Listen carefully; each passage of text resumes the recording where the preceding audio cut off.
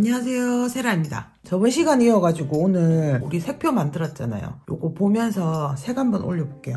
어, 우선 오늘 사용할 재료부터 볼게요. 제도 패드에 그림 이렇게 전사해갖고 오시면 되고 어, 저번 시간에 우리 뽑았던 색연필들 이렇게 준비해 주시면 되고 돌돌이 연필깎이 하나 준비해 주시고 그 다음에 작은 연필깎이 칼 떡주개 하나 준비해 주시면 될 것 같아요. 오늘 엄청 중요한 거 하나. 따란 샤프. 그냥 집에 있는 샤프 하나 준비해 주셔야 돼요. 어, 요게 있어야지 오늘은 그림을 그릴 수가 있어요. 솜털을 샤프로 표현하는 걸 알려드릴게요. 일단 제가 샘플을 한번 만들어 볼게요. 샤프 보시면은 요 단면 있잖아요. 요걸 세워요 이렇게. 이렇게 세운 상태에서 이렇게 그어주는 거예요 이렇게.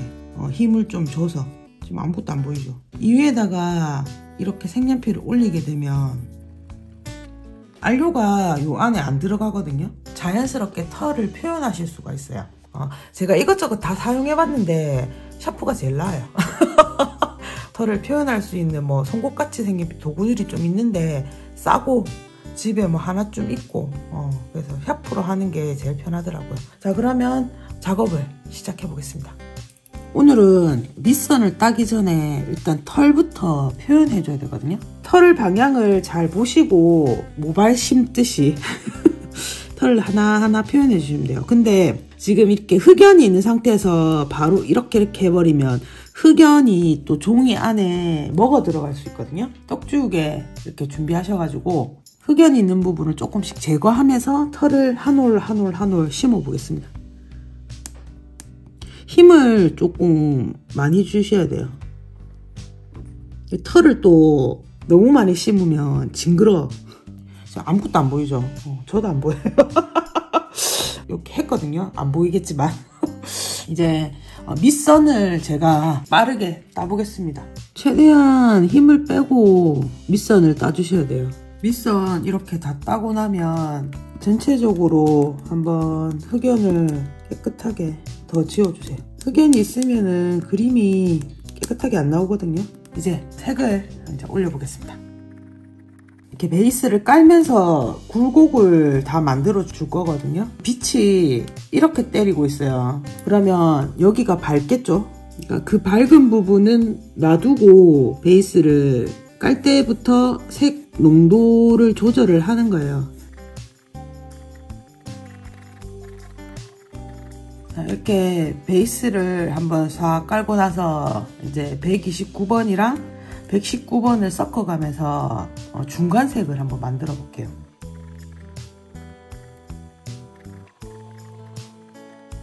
이렇게 연하게 칠할 때는 속력을 좀 낮추세요. 최대한 손에 힘을 빼시고 필압을 진짜 작게 주는 거예요. 이 색연필이 갖고 있는 색 중에 제일 연한 색을 뽑아야 되거든요. 신나니까 막 빨라져요 이게. 신나지 마요. 베이스랑 중간색을 찾고 나면 123번, 125번 그러니까 제일 어둠 찾는 색 빼고 요 색들 이제 차차차차 올려가면서 베이스 색이랑 섞어가면서 올리시면 되거든요. 그러면 좀 경계가 없어지면서 자연스럽게 색을 올릴 수가 있어요. 오늘 사실 그림 그리기 싫었거든요. 아 요즘 봄이라서 그런가? 의욕이 없어요. 그림 그리기 싫었는데 또 하니까 재밌다. 어둠이랑 그 형태 있잖아요. 그러니까 얘가 굴곡이 어떻게 졌는지 이런 거를 계속 보시면서 찾아 나가시면 돼요. 지금 보시면은 125번 같은 색으로 여기도 올리고 여기도 올리고 있잖아요. 피 지금 이렇게 그림자가 시거든요. 그래서 여기는 피랍을 좀 주시고 여기는 색을 섞을 거예요. 이렇게. 그래서 피랍을 좀 적게 주신 다음에 섞어서 요거랑 요쪽이랑 색 차이를 만들 거거든요. 요런 밑색으로 썼던 색깔로 이렇게 섞어 주시면은 어, 중간색이 나오거든요. 그 색을 이렇게 단계적으로 올리세요 한다고 해서 탁탁탁탁 그냥 이렇게만 올려서는 어, 색깔이 그렇게 안 나오거든요. 이거는 하다가 팁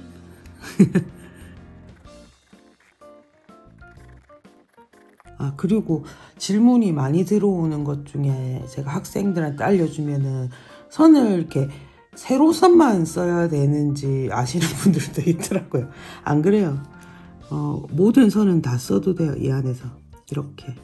그러니까 이렇게 둥근데 이걸로만은 표현을 다 못하잖아요. 이렇게 돌아가야 되니까. 그러니까 모든 선은 다 쓰셔도 돼요.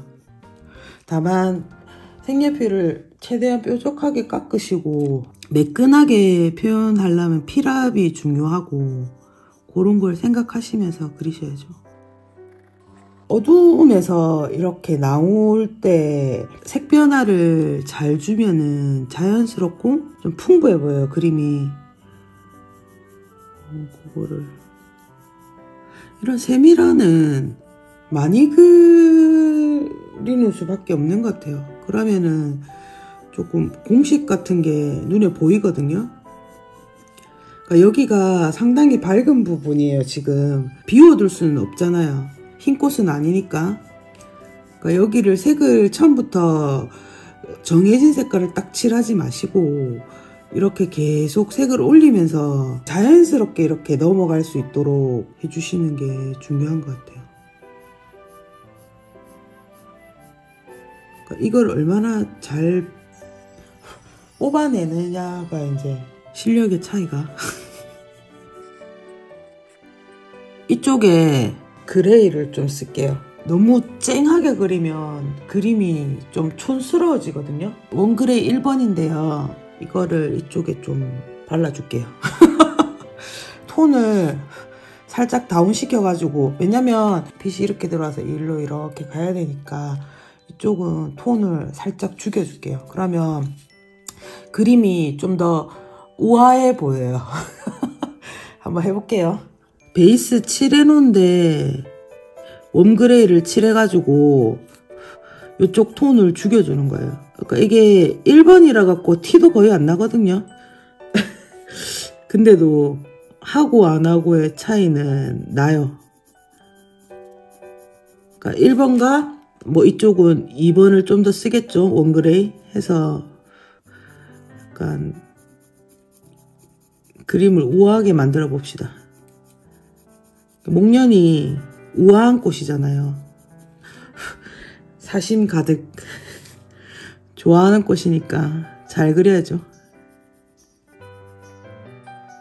요런 식으로 티도 안 나. 이런 식이 뭔지 모르겠죠. 티도 안 나. 하지만 직접 그림을 보실 때는 티가 난다는. 가끔 구독자님을 작업실로 부르고 싶다니까요. 보여주고 싶어서.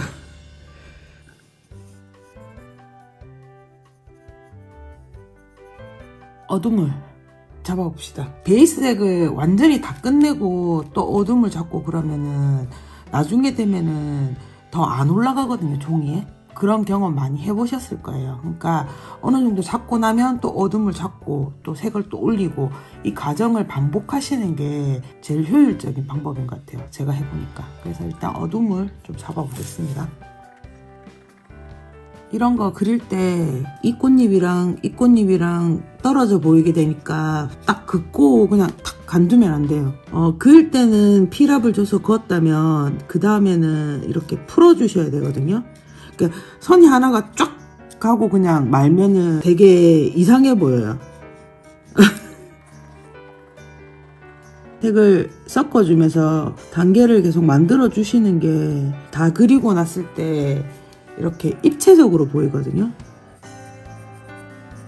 한번 색을 올렸다해서 아 나 올렸어 땡 하고 말면 안 되고 계속 성년 작업을 계속 해주셔야 돼요. 그러니까 여기서 보시면 이게 사라락 사라락 이렇게 풀려야 되거든요 색깔이. 그렇게 되면 잎이 이렇게 보여요 나중에는. 보통 실수를 제일 많이 하시는 게 막 그냥 무작정 올리니까 이게 끝나고 났을 때 평면으로 보이거든요 그림이. 어 그러면 그냥 실패야. 그러니까 이게 볼록하게 보이고 싶다면은 이 그라데이션을 잘 만들어 주셔야 돼요. 어. 이건 그냥 하다 보면 돼요. 처음에 할 때 안 된다고 포기만 안 하시면 돼요. 이게 한 번에 안 나와요.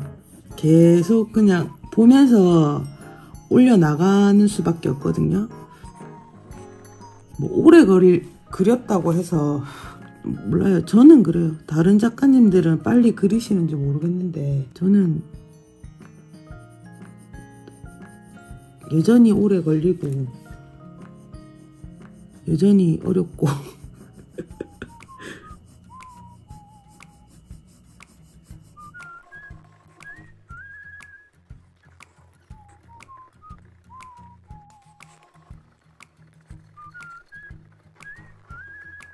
어, 지금 이쪽은 70% 정도 완성했거든요. 어, 그래서 매끈하게 잘 올라간 것 같아요. 나머지 어, 빠르게 한번 완성해 보겠습니다.